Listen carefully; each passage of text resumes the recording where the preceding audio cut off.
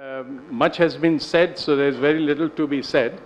But uh, I will say some of the things that in such a conference ought to be said. Well, whenever one goes to these conferences, uh, you have these titles policy matters, evidence matters, implementation matters. Perhaps all of them matter equally. And, and one needs to think because uh, in the morning, in the previous session, Mr. Kumar had a wonderful question mark on implementation. So when you are evaluating a policy at some point, how much is it policy and how much is implementation is an issue. Good policy, bad implementation, or is it bad policy, good implementation? And how does one, and so we have the experts here to clarify this, they have done these extensive studies. One would like them to tell us how did they factor in implementation in coming up with this. I would just keep my comments brief, but it has to be said that the competitive advantage of nations now depends not on policy making. You go to WHO site and you will find everything on deworming, also on vitamin A supplements. And policies, in fact, can be Googled and you can pretty much come to some kind of a policy, but try implementing. Nations which are making progress are the ones which are implementing. Uh, and implementation is the key determinant of the competitive advantage of nations. I think it has to be said. But having said that, um, it is also true that policy is an, is, uh, is an experiment. Any public policy is an experiment. You sort of are experimenting, and then like any experiment, you collect information and improve your experiment much of the discovery in the world was done by multiple experimentation. So you can't say this is the final answer for a particular thing. You say this is, as of now, an experiment that maybe we can reduce child mortality through oral rehydration therapy or through deworming, many of the options, and then you see and go back. So I think one needs to also look into, do we have that feedback mechanism? Do we have in the government and, uh, and sort of an attitude for experimentation, or is it just that if we stick to it, no matter what, just let's continue to do it, let's not admit that experiment has failed, and we continue for many, many decades, till there is an outcry or something, and the government changes, and let the other government then change. So I think this, so my last two thoughts on this is, uh, are, number one, when, when, when a policy is made, Mr. Kumar, and it was very telling, that they asked him to remove the evidence from the policy document. In fact, I would go that we as citizens have to demand that any policy that is made must include a section on, on what evidence it was based. If that section does not exist, we should not accept that policy. And sometimes when markets fail, this has to be done through regulation. And perhaps time has come there should be a law that any policy should have, and you can say, there can be a blank page saying, we are making this policy, there is no evidence. But the problem is obvious, we need to solve it. So we'll collect evidence, but let's start working. Sometimes you have to make policies without evidence because there is no evidence. You're solving a brand new problem. You can't say there is a tsunami and let's collect evidence what happens in other tsunamis. This is it. You have to solve it. So it's not that we should take this as a dogma that there has to be evidence sometimes, but there should be a recognition that we are making this policy without evidence. And that's okay too. But it should be a requirement that you leave a blank page saying there was no evidence, yet we have made this policy. Be brave enough to say that. I think that's one. Second regulation that is required is there should be, and because there is a market failure, I am not for regulation. I am actually for free markets. But when free markets fail, you have to have regulation. The market has failed in evaluation business. There is no accountability and Dr. Khera also sort of alluded to. So we have to have a regulation that there should be a mandatory, any policy must be evaluated, good, bad, or ugly, within three years or five years there should be, because you know, most of the time we are evaluating when horses have left the stable. The secretaries have changed, ministers have changed, governments have changed, and we are doing a randomized control experiment for millions of dollars. I can predict that. You give me 100 rupees and I can say that if that policy will fail because there is no accountability. There was no ex ante requirement for evaluation. So if it has worked, it is by chance, not by design. So we need to be careful about that as well.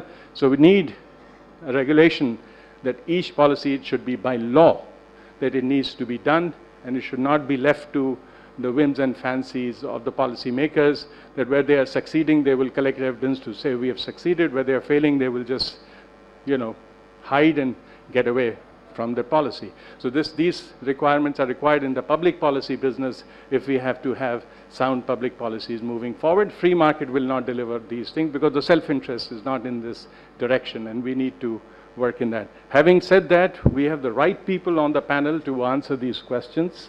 Uh, they have been introduced. You have the introductions with you, so I will be brief. We'll go to Dr. Tharyan directly and ask him uh, about the Cochrane study on deworming. That is the session. Uh, it's one of, you know, it's been all, because it's hard in these workshops and seminars to control topics. I mean, they just overlap, and so it is okay. Much, some of it has been commented by Dr. Khera himself, but we'd like to hear from you in short. I think we have to make it like three, four minutes. Uh, it says 10 minutes. We'll have to make it short to stick to the time. So briefly, what was your study? What was your experience? I'm particularly interested more than government of India. Uh, what was your experience with WHO? Because again, the problem is many of these governments, and with due respect, I was in the government, so I say it with love and affection and not with any malice. Uh, fact is, they're not capable to evaluate anything, especially developing countries. But WHO, that's why we say that we have created WHO, we paid money to them. They should think on our behalf and let us know whether deworming works or not. Once they have approved it, it's very hard for a developing country to sort of say, well, we, we disagree with WHO, we are bigger experts than WHO. So I'd like to know what, what was the reaction of WHO in particular, as, so, as, well, as well as the government. Dr. Okay, uh, I do not know how many of you have actually read the Cochrane review on deworming. Has anyone read the Cochrane Review on deworming?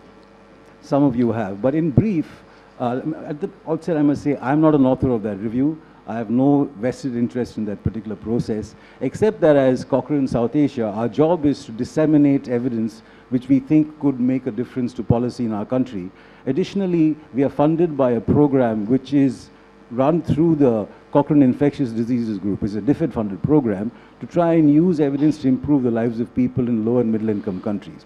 I got involved in this review, uh, in disseminating this review by the third update. So the first version came out in 2000, then in 2007, then in 2012. And one of the reasons I got involved in this review was Ajay Khera, because he actually asked us to come and explain this Cochrane review to him. Remember, Paul Garner and I came down to you. He had read the review. And he was concerned because it was diametrically opposite to what the government of India was doing. Now, the issue is uh, there are three ways we can try and get rid of worms using deworming as a strategy. One is uh, selective screening and treatment of children who are, at work, who are infected. A child has got worms, you've tested him and you treat him, right? And that's one way. But the WHO reason, and probably makes sense, is that testing is expensive.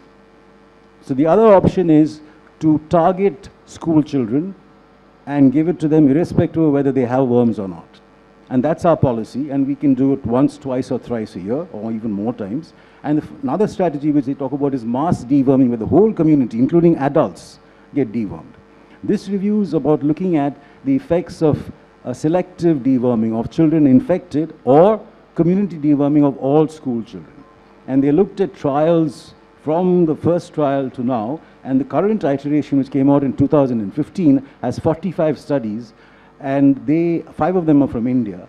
One of those five studies from India randomized a million children, Devta, done in Lucknow, and the others together included, overall, uh, the, uh, the studies included about 64,000 children. They were either given selective deworming as a single dose or as multiple doses, or they were given multiple doses without checking to see whether they have worms. And the overall evidence suggests that if you give uh, targeted, no, selective deworming to a child known to be infected, it might have a little bit of an improvement in terms of weight, which can range from something around about a kilo or so. But it does nothing else. And mean, community deworming does not seem to show the purported benefits in terms of nutrition, cognitive functions, and all the other things that people claim they do. So that is the evidence. And when we discussed with Dr. Ajay Khera, he told us what the WHO's reaction was. He says WHO discredits your review. And WHO says this is it. And I think there's a briefing document which WHO has prepared to discredit the Cochrane review. Now, what I want you to know is that this review started a war. It's called the Worm Wars. There are two academic camps very strongly entrenched positions. And the problem for us in, is how do we deconstruct all these arguments? So our job was to sit and look at what we should do. And I thought at that time, the 2012 review, that the problem is that contextualizing it to India is difficult because we do not know what our worm loads are, what the worm burden was. And I suggested that you should do a survey to see what are our actual worm loads. But the 2015 version of the review actually looks at, uh, stratifies all the studies according to prevalence, high prevalence, low prevalence, and you know, moderate prevalence, as well as intensity of infection, and still finds no evidence for it. So then what is the alternative? So I look for other evidence, what could work. There is a good systematic review which says that uh, improving sanitation, access to sanitation and the use of sanitation brings down the infection rate for soil transmitted helminths. This is a good systematic review, 2012. And there is another systematic review looking at uh, whether you give increase the amount of deworming. So what they've looked at is comparing the school-based programs with mass deworming of whole districts. And they find those programs work. So your strategies are, do, how do we, you know, refine this? So one is to upscale so that everybody in India is dewormed, which to me sounds like that's a big problem. That's one option. The other option is to consider how do we start looking much more carefully at improving access to sanitation and water? Because children get reinfected. Within a year, they're reinfected. So unless we can start looking at that, we'll be doing endless cycles of deworming and not achieving any benefit. And your problem, sir, is the same problem that all governments who are doing this have. We went to Nepal to see if we could help the Nepal government understand the use of evidence. They asked us to come. So the example I took was deworming, because they also routinely deworm. At the end of it, the policymakers gave me two questions. One, there are no studies in this review from Nepal. So how can we use this evidence? But the answer was very clear. The Devta study was done in Lucknow adjoining Nepal. There is no difference between what happens on that side of the border or this side of the border because the worms don't know there's a border. It's the same place. So there clearly is evidence that investing so much money and time is not paying off the way we wanted to. The second question he asked was, all that's true, but how do we withdraw an established program? Which I think is the big problem. How do you actually make the decision to withdraw it and justify that withdrawal? So I think that the answer is to actually see we have to monitor what is happening every time we do this. You have to have a way in which you're saying we are looking at worm loads, we're looking at nutritional indicators. That's the thing. And what's going to happen is that's really going to change the way the government functions. Because these predictions you implement, but unless you can actually monitor what you're being implementing, you're probably wasting our money. And I know it's difficult. But I think you've already started setting up the systems. There are also two good systematic reviews which look at the prevalence of uh, worm infestation in, in India, 2016 and 17. They show that just looking at worm prevalence, STH prevalence, people will be shocked if you withdraw the program because in some places there's 90% prevalence and some places there's 50% prevalence. So the question is how are we going to disengage from this saying there are certain areas, even in my part of the world, where in our hospitals none of the children have worms, but in an adjoining tribal area, lots of them have worms. So I think the, the, this is a thing that we need to debate. How do we actually move with this knowledge base to actually change our program that we are not doing it for everybody, but for a few people?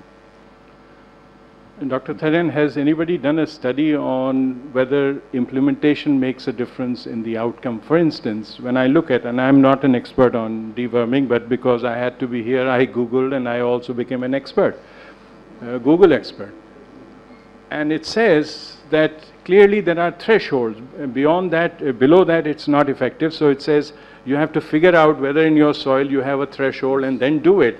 Does government of India, and that's a question for Dr. Khera, uh, there are various things and were those things followed and implemented as the plan was or then one could say, and was there any accountability? Was anybody held responsible? Or, you know, because otherwise uh, these outcomes are predictable and you're right.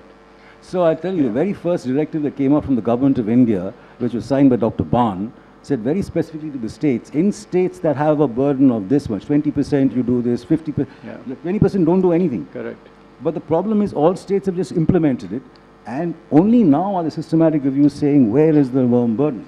Right. So I think it's really, really important for us to have this ground level data. This is a policy. I'll give you another example of the use of evidence. The government of Ghana rejected the WHO, uh, you know, directive that we should use artesunate instead of quinine for treating falciparum malaria because they said our data shows quinine works. We can tell you the number of deaths we are averting. Artesunate may be better, but we can't afford artesunate. We don't have it. We can't control it. So they may use an evidence-informed decision. Similarly, I think we should not view this Cochrane review as an embarrassment or anything of that sort of saying, but it's telling us let's just start evaluating what we are doing. Dr. White, what did you find which was different and additional? Because yours is a more recent study, and how are the answers to the questions already raised? Okay, thank you. So Campbell also has done a review of deworming. Uh, fewer people have read that, I imagine. Um, we did uh, the, the review, despite the Cochrane review, for three main reasons. The first was to do an update, because our review has just come out uh, very recently. The second was because despite the Cochrane review, the worm wars were continuing. The Cochrane review hadn't settled it. Um, and our feeling, though the review would tell, was that we saw, and say for example here in India, the um, the Deworm the World movement is selling mass deworming as an evidence-based program and you'll find on various Indian websites for statement that global evidence shows mass deworming increases well-being, improves health and education, whereas the Cochrane Review shows that's simply not true. So we wanted to try and say, well, let's try and address this. The, the, the pro-dewormers had made a number of criticisms of the Cochrane Review, and we identified 10 of those criticisms and tried to address each one of those, and I'll mention some of them, in the Campbell Review, so we could have a more comprehensive analysis that responded to these criticisms. The, um, as we were an update, we had more studies, we had 65 studies in the Campbell Review, 12 of them from India, 10 of which are randomized controlled trials. The, the main headline of the Campbell Review is exactly the same as the Cochrane Review. There is no evidence to support the statement about deworming. It may be a small impact on nutrition, but there's no impact on, um, on education or health and, and, and so on. Um, the, there's some variation, some heterogeneity in these study findings. We tried to explain this heterogeneity. We did moderate analysis of various kinds, and we could not explain it. So you do find effects in a num- small number of African studies, and particularly a study in Kenya has become very prominent in the Deworm the World movement in promoting deworming, but it's one study out of the 65 included studies. Um, there is an effect on hemoglobin in one study from South Africa, but that study included also iron supplementation with deworming, so it's not terribly surprising. It's not to attribute that to deworming. Um, the other studies finding positive impact are in, in, in the Kenya, Uganda, and Sierra Leone. And so we thought we'd be able to expand that variation, probably from base prevalence, no effect, as the Cochrane review had also found. What the Campbell team are now doing is what called individual patient data analysis, where you go back to the primary studies, get hold of the original data, replicate each study, and then pull all of those data, so you have much more data available to examine heterogeneity. It's an enormous task, and I think they'll be finished next year is the, is the plan. Um, so anyway, so this is right. So, um, so one of the um, things that we looked at that had been a criticism of the Cochrane, Cochrane Review is the long-run effects. So it's now by the proponents of deworming saying, oh, but there are some studies that show, um, if you look at the long run, so deworming's been done for several years, you look some years later, you find increases, say, in, in employment or earnings in uh, children had higher levels of deworming. Um, there's, there's a new study looking at the quality of these studies that says they're not particularly high quality, but the, we look at them in the Campbell Review and we do find overall they find effects. But my main point would be all of the long run studies are based on the African studies. The African studies do find short run effects. So it does not make sense to me to do, as for example, GiveWell, a US-based organisation promoting evidence-based programs, including deworming, GiveWell extrapolate the, the long-run effects from the African studies to, for example, the Indian context or the Chinese context. In India and China, we have large styles, large trials that find no effect in the short term. So how would you expect an effect in the long term? It does, that doesn't seem to make sense to me. So um, what, uh, similar to, to to, uh, approach, what I would say is we want to look at alternative interventions also that may have the same outcomes. And we do know from a number of reviews from Cochrane and from Campbell that improved, uh, improved um, sanitation and hygiene, access to clean water are all things that have documented, well proven improvements in child health. And if you improve these things, you do, you do see the improvements you expect to see. The problem we have in uh, improved water sanitation is uptake. So we know that point of use water, improved water, uh, improved water quality at point of use improves child diarrhea, reduces child diarrhea by 30 to 40%, but you don't have sustained adoption of these technologies. We know that you can make latrines available, but you know, we know you don't have proper use, sustained proper use of those facilities. So the, the challenge for an uh, uh, initiative like Swachh Bharat is to say it's not enough just to supply toilets, you have to make sure there's proper use of these facilities, sustained proper use. Otherwise, you won't get ODF, open defecation free communities, um, staying open defecation free if they really ever become it. So I would end on the same note as Prathap, is that we're not saying, okay, just stop deworming. We've heard the challenge of closing programs, particularly when the apparent problem they're tackling, deworming, it, worms, is, is, remains very high. What we would say is you do need to be evaluating these programs in the context in which you're you're implementing them against alternative programs to achieve the same objectives, and then push on rolling out the programs that prove most effective in achieving those objectives. Thank you very much. The only problem with that would be that, you know, in, and as you know very well, government is organized in silos. Dr. Khera is responsible for a particular area, I mean, he cannot necessarily, when, and you know, this is again a public policy issue, and some regulation, some reform is required, that how do you do when several agencies are required to achieve the same goal? And it's not one agency, then what, what is that one agency can do? They do the best they can as far as they are concerned. So that's, I think it's a, uh, the lessons of this is that we need a, a reform of the public policy process rather than one intervention which may be this way or Independent evaluation office. and you do need that. You need, need that, and absolutely. And uh, so I think that's the kind of uh, intervention. Dr. Khera, before I pass on, the, as a layperson, I understand, again, uh, not an expert, that someone must have, because these medicines are too dangerous to be, must have been FDA approved, or someone must have approved to say that when you take this medicine, the worms die. Someone must have said, and only then we are giving to human beings, I hope. And when someone must have said that when worms die, uh, you become healthy. I've seen uh, several cases in my short life that uh, that happens. Uh, children uh, are said to have worm, and then they are dewormed and they seem better. So those must be two facts. So if you are doing that intervention with these two facts, how are the outcomes? Where does it go wrong? Because common sense says medicine works in deworming, unless you tell me that is in question, that's a separate study. Then you say that, well, when the worm, the huge worm, is not like a one inch, I mean, these are, uh, these are meters or something. When they get out of your system, human beings feel better. So where does the failure occur, I'd like to know. I mean, how do these studies come up with that? Answer. You know, And you're a doctor, so you will yeah, know. no, no, certainly, you know. You know, uh, uh, let me share, you know, I mean, the overall genesis of the whole thing, you know, because uh, deworming is a kind of intervention which is there in the government of India's program for the last many, many years. And I remember when I took over as the in charge of the child health program, and there's intervention which was happening, but then when I looked at its, you know, coverages, the coverages were very, very patchy.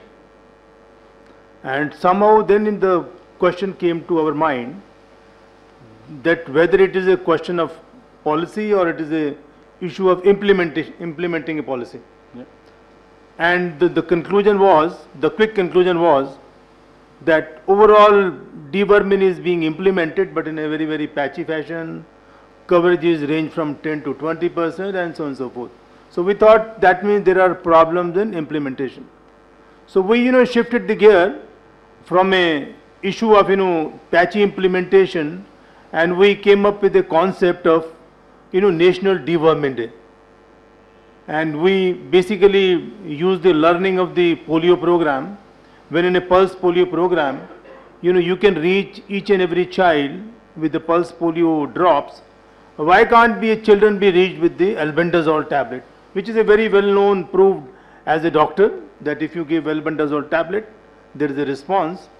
So we converted this whole patchy program to address the issue of implementation into a national deworming day.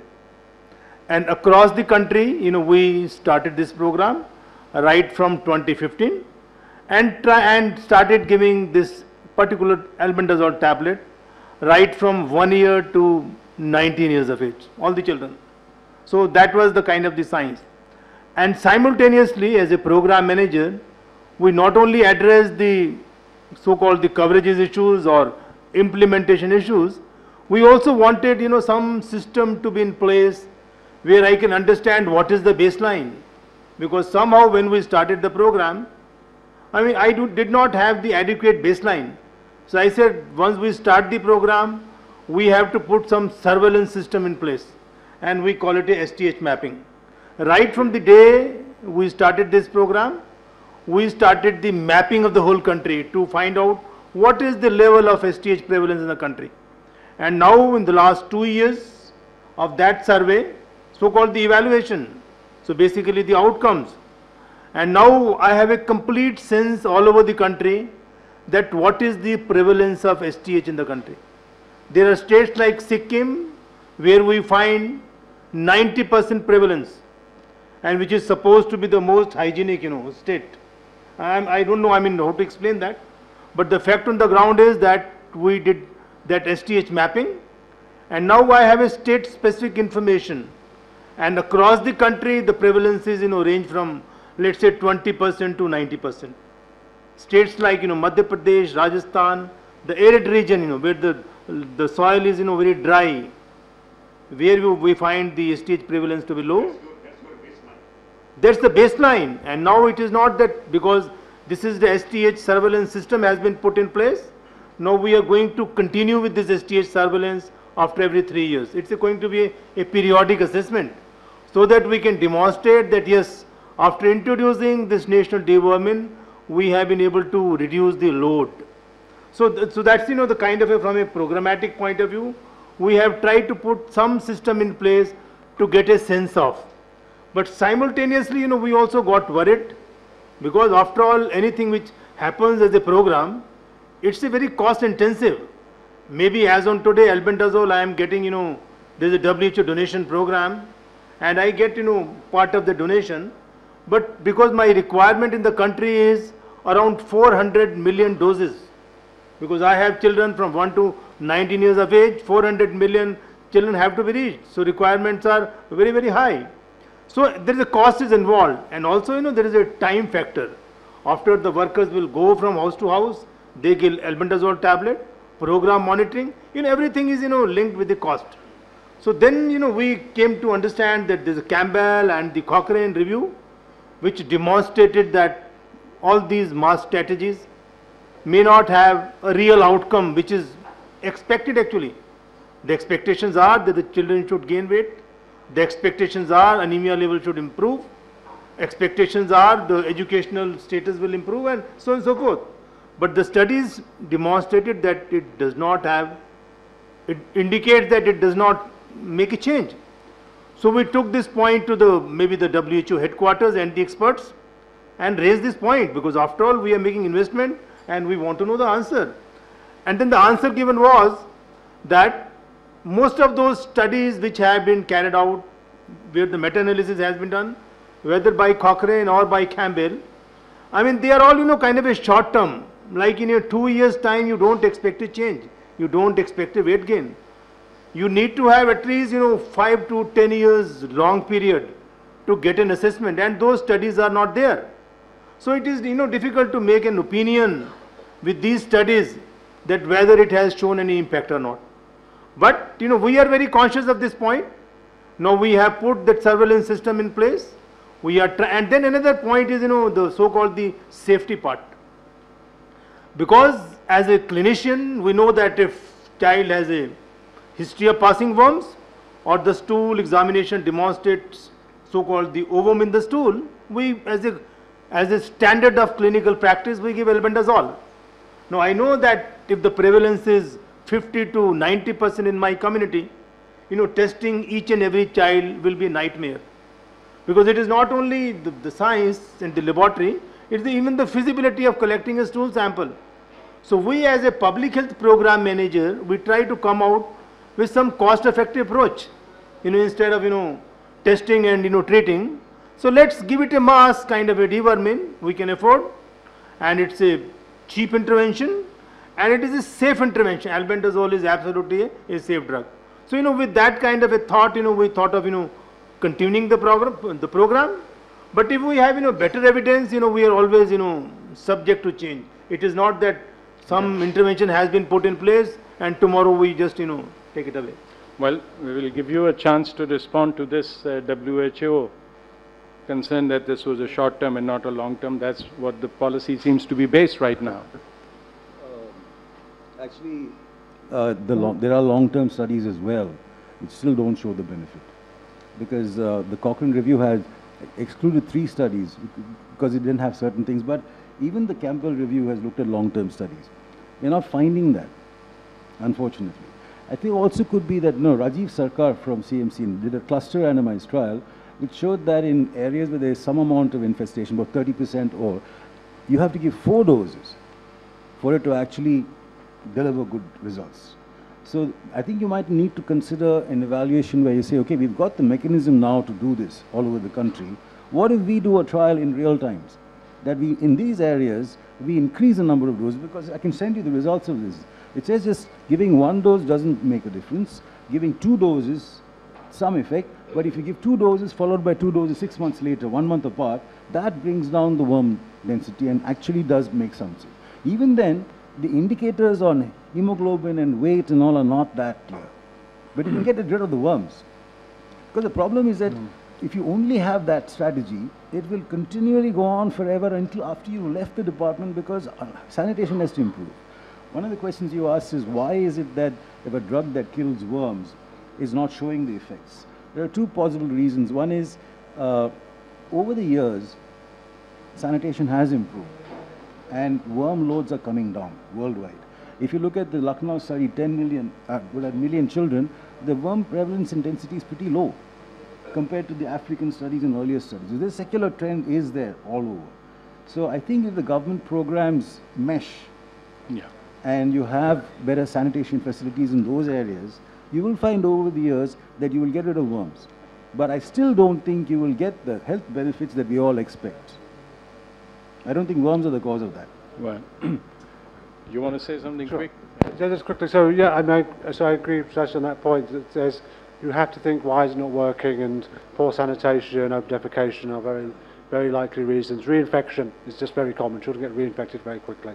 Um, the on the long run studies, the ones that we look at in the Campbell review, as I mentioned, are from the African evidence where they, they claim to show some effects. There has been a recent review by the team that did the Cochrane review questioning the quality of those studies, but even if the study findings are, are valid, then I point out again they are from the African evidence where there's no ev- there's evidence of short run effects, so maybe there are long run effects, but in India there are 12 studies showing no effects, and what we would like to do here very much is see if it's possible to follow up the existing studies or to put in place long run studies now or basing on the point of using existing data to see what can be done with existing data from various sources to do long run analysis of deworming in the Indian context. And before it is done, Dr. Khera, it might be a good idea to have uh, Dr. White and Dr. Tharyan in the same room as WHO and thrash it out with everyone listening. So, so that we have the other side, which is not represented, be in the room to defend what they're not doing or doing. But here is a person who can really answer these questions. Dr. Nimbalkar does it on the ground. Uh, Dr. Nimbalkar, what are your uh, experiences in a practical sense, not in the terms of the studies and policies, but what do you observe?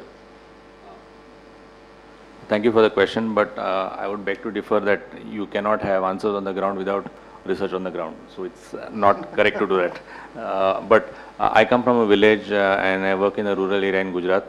And I got into deworming because of a project that we got, uh, which looked at prevalence of worms and how, how it does get reduced and whether the microbiome in the intestine changes based upon the worm load.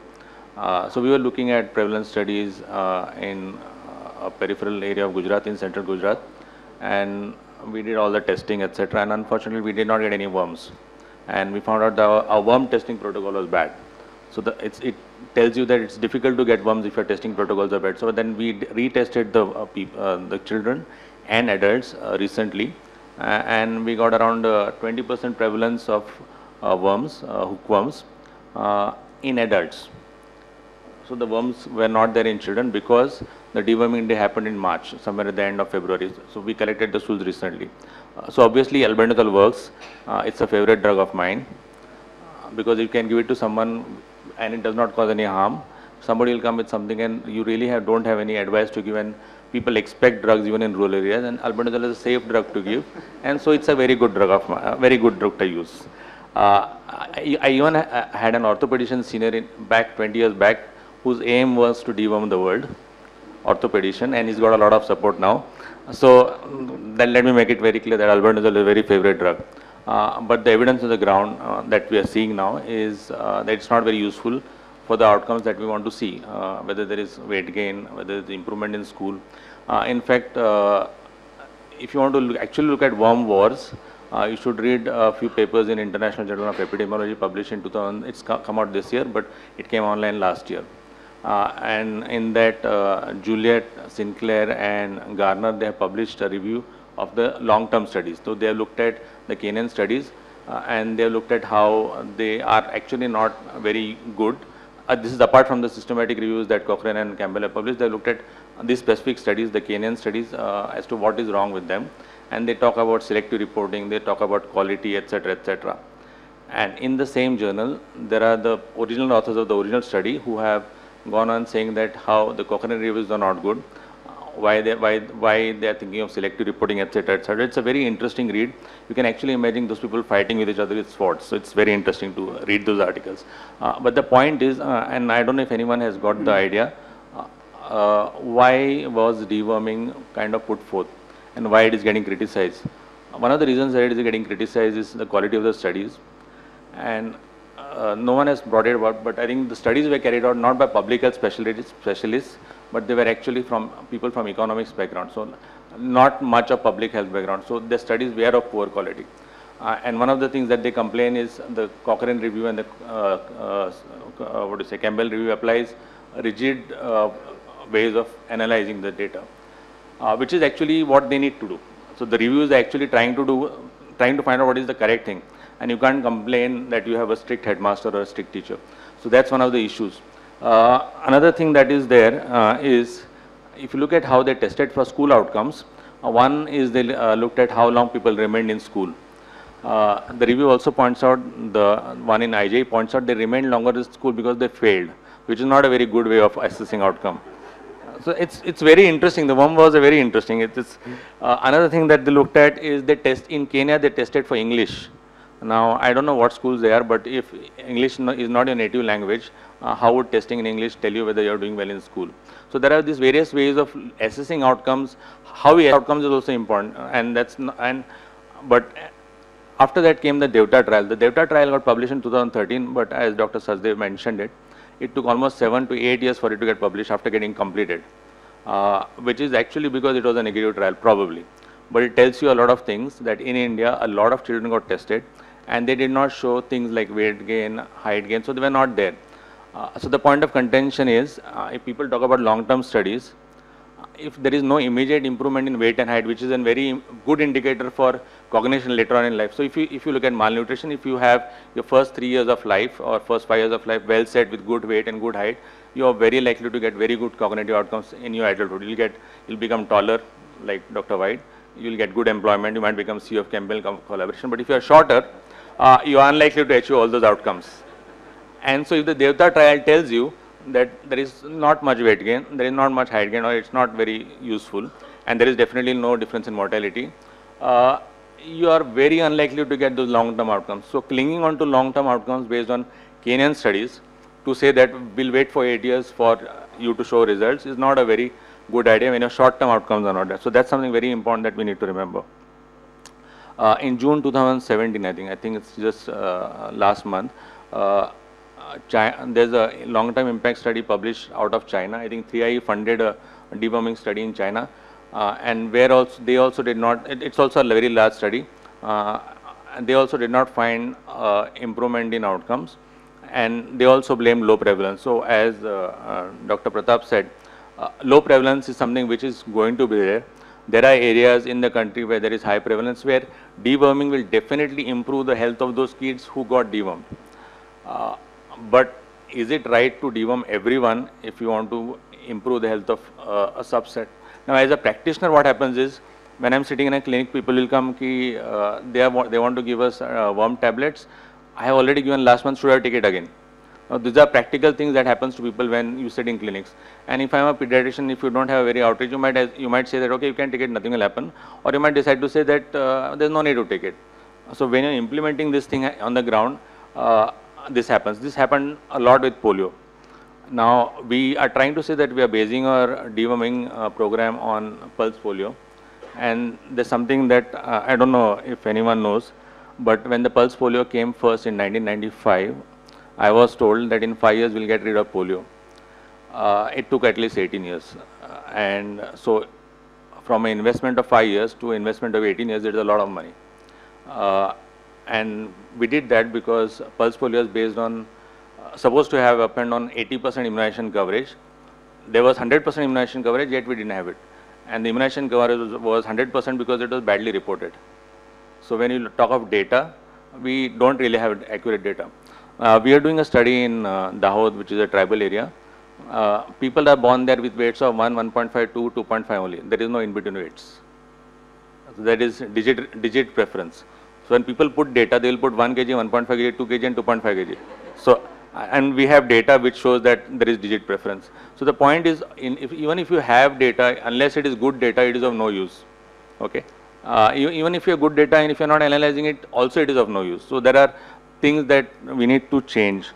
Uh, coming to uh, a few things.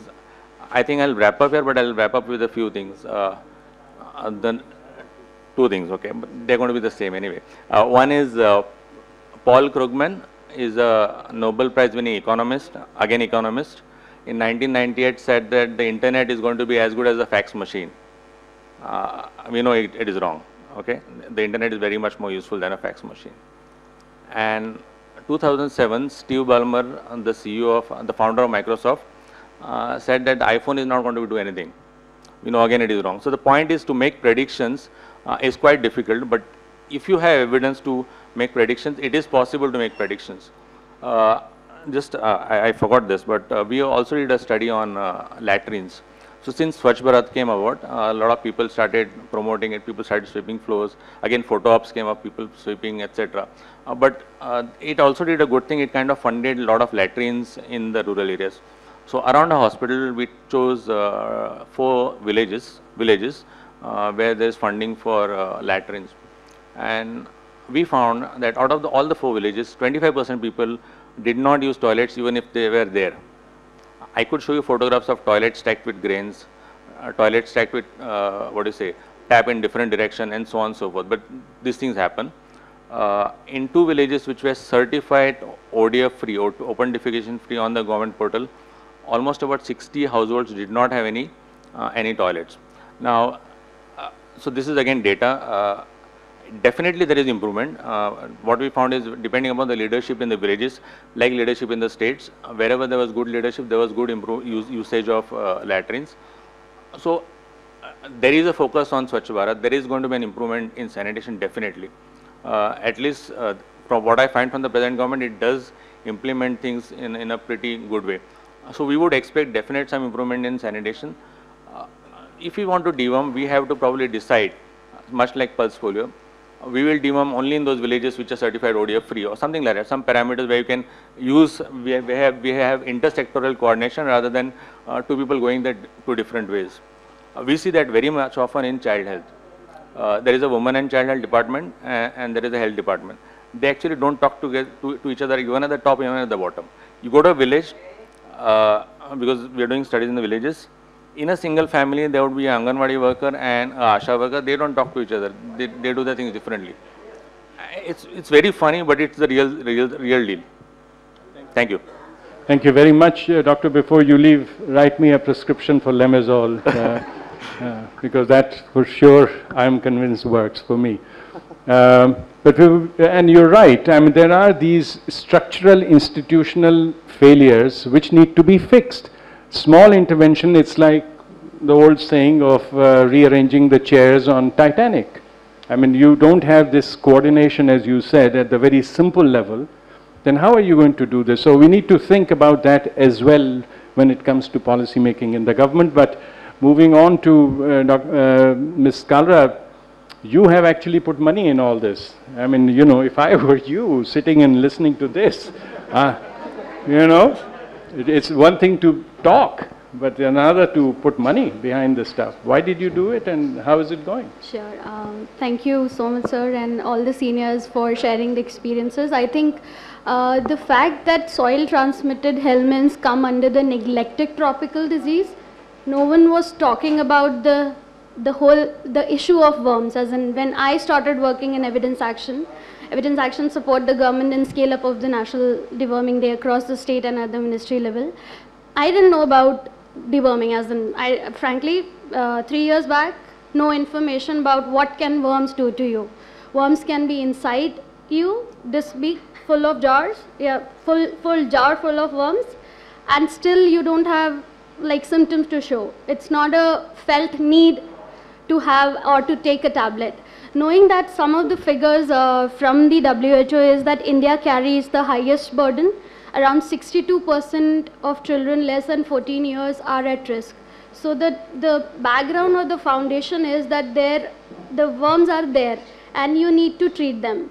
And how do you treat them is through a simple tablet. It's very, uh, very safe to be taken. We all have taken as and you can take it any time of the day. Uh, you take the tablet and you have lower worms. So the prevalence and the intensity of worms, both are important for the child. For the, uh, the child, we don't talk about in public health uh, much about the quality of life right, at the bottom level or below poverty line, or children who are studying in private schools, but in the nook and corners of the cities, we don't talk about the quality they are living on a day-to-day -day basis. So I think uh, with the simple solution to keep the worms low on a regular basis, the tablet is uh, quite effective and uh, important. And again, to give you some uh, background in terms of the numbers, there are 14 states uh, which are high prevalence in the country based on the uh, uh, ministry data run by National Center for Disease uh, Control. Around 19 states have moderate prevalence and two states have low prevalence. But deworming at least once a year is required in all and except Rajasthan and Madhya Pradesh, it's required twice a year. Now coming to the National Deworming Day, uh, the whole strategy as in India, the population, it's, I think today is the World Population Day, 11 July. We have a huge population to even uh, think about in terms of scaling up or to roll out a program. And in a country like our, economies of scale is the concept as an economist talk about uh, administering the tablet we have data from at least our states from Bihar, Madhya Pradesh and Rajasthan from 2015 that it costs only 4 rupee, including everything, including providing tablet, training. The, the whole program uh, leverages the resources, the available resources, other than the tablet which is provided. the teachers are already there, uh, the monitoring system is already there. It's only piggy banking onto the, the available infrastructure in order to make sure that at least children who have worms get the tablet and because the tablet is so safe that it can be given to the other children also. So from the overall uh, the uh, value addition point of view, uh, I think not only in children who are in government schools, but also in private schools. Uh, so the data shows that uh, in uh, the prevalence data in fact shows that it, the prevalence in children studying in the private school is also equal or more higher than the the regular. So it, the, the whole component of private school inclusion, private school were never included in any of the government program. Uh, so under NDD uh, in 2016, uh, ministry decided to include at least 10% of the districts in one state and gradually now all, as in almost all states have started scaling up the program. In terms of the interest to reach out to this, uh, this, this target group and from uh, 1 lakh uh, schools in 2016 and recent uh, February 2017 around 2 lakh private schools took part in the initiative. And also the outer school component which is a big challenge for the yeah, Yeah. uh, yes Uh, yeah, right, I think uh, around 16 million children were like out of school were included in the programs to, to mainstream them into the education system. Jo Anganwadi maybe nahi has and those are not in Anganwadi, not in school, you have to at least reach out to them. I think from a program perspective, uh, these are very crucial and again sir, addressing to your the question on uh, behavior change, Swachh Bharat as in, these are two routes. One is the short-term route and one is the long-term route. If you talk about behavior change, if, if I apply on myself, it will take me two years to change my behavior, right? So in terms of making that change, I think it's a combination of both short-term route plus the long-term route and this is what is addressed in the program also to be able to make sure that both goes in a holistic way and children are reached out uh, in the best possible way they can.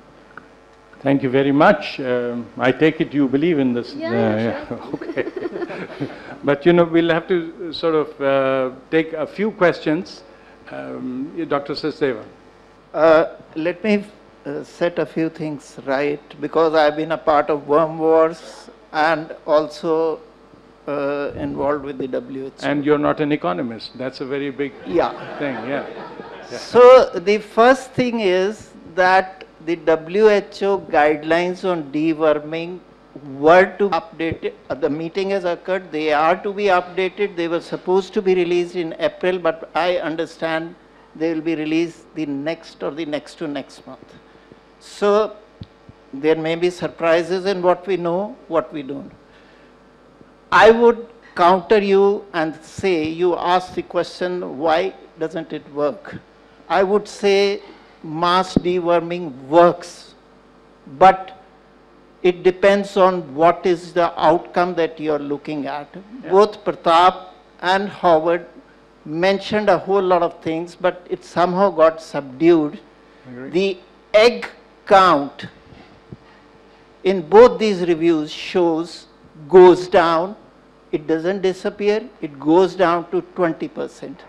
So the only benefit of the mass deworming has shown is the egg count going down.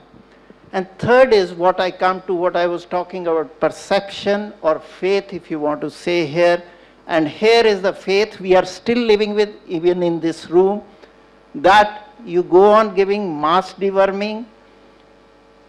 Why doesn't it improve? People are investing money on this. So we are going, living on the perception and faith despite this colossal evidence from two independent systematic reviews that there are no biological or functional benefits to the human of the kind which are being advertised. Only thing is egg count goes down. Let us be transparent about it. Let the ministry, the politician, the other stakeholders know it. And after that, is the country willing to invest this much sum and logistics? That is the key question which we have to answer.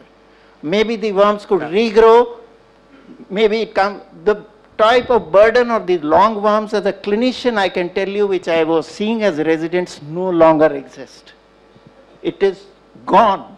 that era is gone because of water supply, sanitation or something. So are we to invest the overall development route of water supply, sanitation or look at these quick fixes and distractions? That's a question the country has to answer. A question here and then at the back, yes.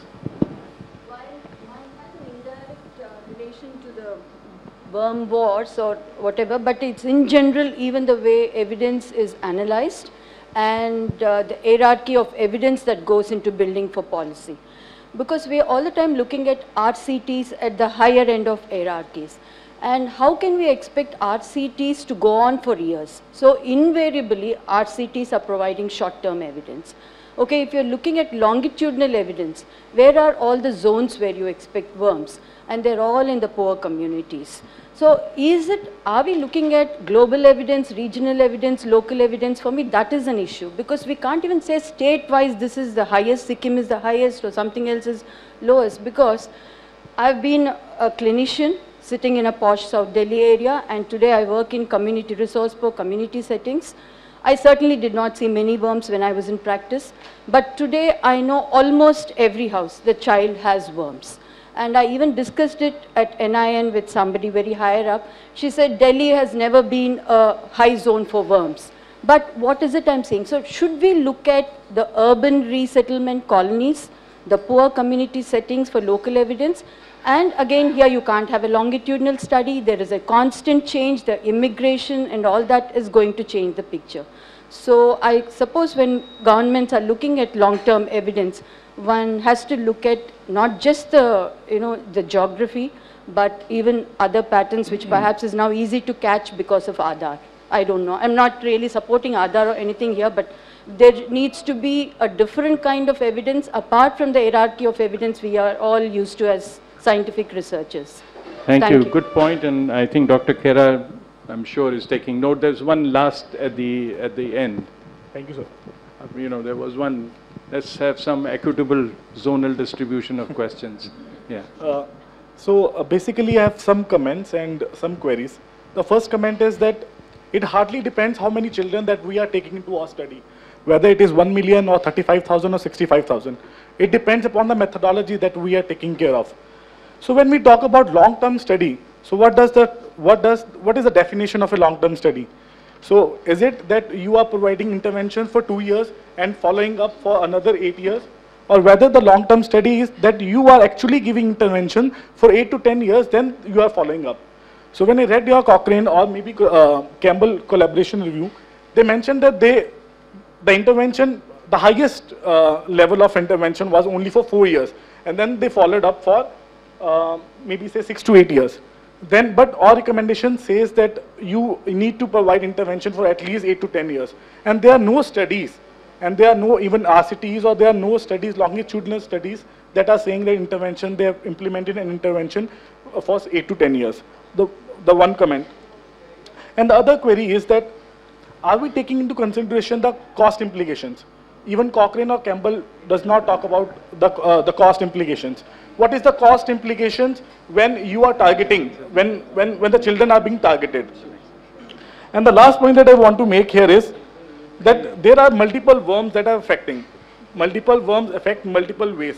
So how we are taking into consideration, you know, roundworm, whipworm, or maybe hookworms, there are, are mathematical modeling saying that there, there is a prevalence of hookworms in adults. They, they are now taking into a study. They are, they are saying that there is no hookworm prevalence in the adults, in the children. So how we are consider, considering these facts into our studies. And the last point that, uh, just the last point that I want to make and maybe Okay. the query, the last point. Uh, maybe sir, the last point. Yeah. So I just want to make that, you know, You said the same about the last one. I just, I just read my diary and there was another. But, you know, why don't you wait and we can have this later because we need Yeah. to, okay, the last, last comment. The last, last, yeah. Okay. So, uh, albendazole, mebendazole. So you have taken studies wherein you have taken uh, albendazole and other studies mebendazole. So how you have taken into efficacious uh, the point of view of um, these two drugs? Thank you. All right, thank you. I think uh, I will request the panelists, because in the next session, which is the closing remarks, they're all there, so they can answer and respond to these in the closing remarks. I will close this session. Uh, Dr. A quick. I'll start off with answering or maybe saying, saying a few things and Start off, you have to finish. close with answering something, right, yeah. uh, So, uh, albendazole is uh, much better than mebendazole, so that's, that's, that's kind of established and uh, when you do a review, you will, you will want to include, that's one of the things that Campbell did, they kind of include everything. And there are methodologies in which you can kind of uh, make sure that it is evenly distributed. I think they can talk more about it.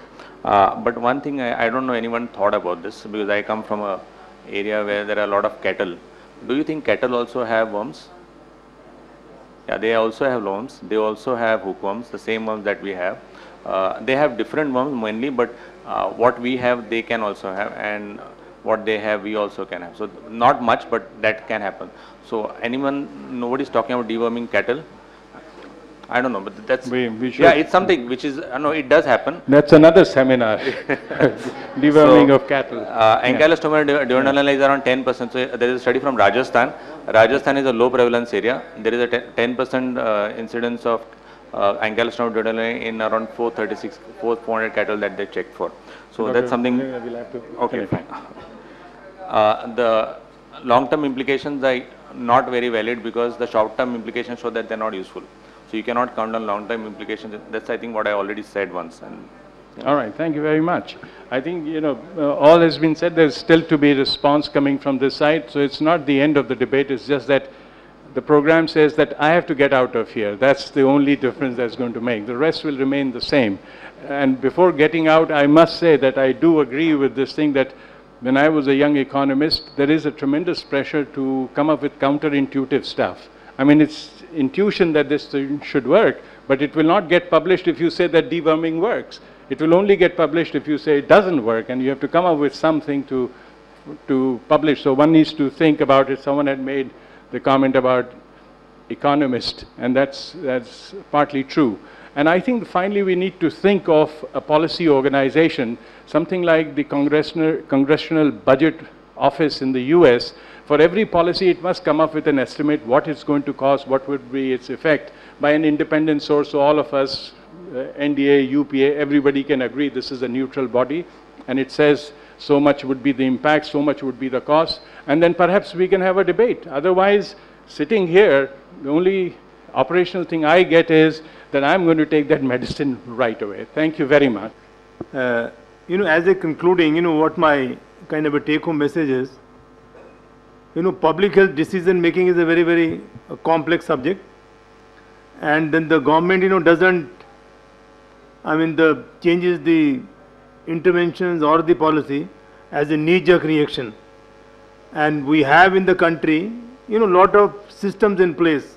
You may not have a confidence, you may continue to doubt the efficiency of the government, but I can tell you on behalf of the government that our systems are getting robust day by day. I am not saying that we are perfect, but systems are getting better day by day and we have a complete control on the kind of the data sets which are being generated. You know, you might get some examples here and there, people may keep quoting, but that is not complete India. So we have a complete handle on the data sets and we continue to use data sets for our program monitoring, for program management and even at the appropriate point of time even for policy changes. So data are appropriately used. And beside that, we also continue to have independent evaluations. And I think studies like, you know, meta-analysis of Cochrane or Campbell, they are really very helpful in our decision making. But one Campbell study or one, you know, kind of a Cochrane study, you know, we can't take a decision. It has to be a, very, very holistic fashion. Like I remember I was recently in one of the meeting in, on neglected tropical disease.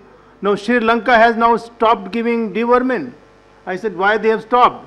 They have stopped because their end point has reached. Their prevalence has gone less than 1%. Now in India now we have a prevalence of let's say 40, 50%. So we also looking for an end point. Now then another in the point which I wanted to react was in terms of you know measuring the outcome. Now outcome is cannot be measured by just one intervention. I mean it has a multiple factors are operating. So I think it is very difficult to make a judgment that just by deworming the weight gain has not improved because weight gain depends on other things also. And then that's why under the program we have an end point that is the worms. We want country, we want children to be free of worms. And if today I have a prevalence of or 40%, I am targeting to make it less than 5%. So that's the way, you know, we look at it. Thank you. Yeah, no further comments. I think thank you for organizing this. No uh, worm wars, only I think we already have so many wars going around. So I think uh, as a program, uh, it is continuously like looking at now to improve the uh, implementation so that we are able to reach the endpoint very soon. I think that is what the objective is and a worm-free world is what we are working towards.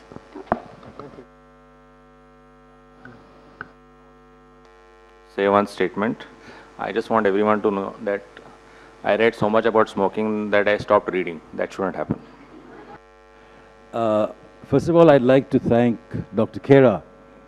I'm, I'm absolutely delighted that you were here and we discussed this.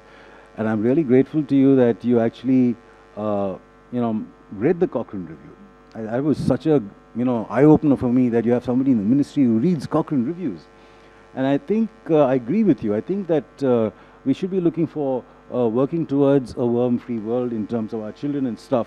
And I think that you're on the right track because we are uh, looking at trying to upscale so you can actually reduce the prevalence of worm infection. And we are also simultaneously trying to improve water sanitation. And no doubt in some time it will happen. All that the Cochrane review did was tell us, let us be clear about what we're trying to do. That's all. And I think it did work because it woke everybody up. So I feel that this whole process of trying to question established beliefs needs to happen on an ongoing basis. And I'm glad that you are a person who actually thinks and are willing to take it and not react in a knee-jerk manner. I certainly don't believe you should stop deworming because of the Cochrane review. I don't believe that. Because I think we have to think. But I know that we will not get those outcomes we were looking for. That's all we're trying to say. Those purported outcomes are not going to happen. Doesn't matter. We still need to get rid of worms. I have no problem because it shows overall our sanitation will improve. Only then will you get rid of worms. Deworming is only one of the strategies. Thank you very much. And I'd like to explain to everybody that the government of India is spending more than a crore of rupees every year to ensure that evidence in the form of systematic reviews are made available to all its citizens. So you can think of what we could do with that money uh, if nobody is going to read all this. There could be so many other things. I'm not trying to make you feel guilty, but I'm saying if you're here to look at evidence matters, that's one source of evidence, and Campbell has other sources of evidence. I think it's our duty to look at the evidence.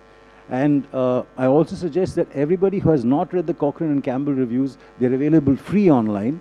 And they have included long-term studies. They have included observational studies. They have looked at uh, intensity of infection, all kinds of things. It's really worthwhile reading these reviews. Thank you very much.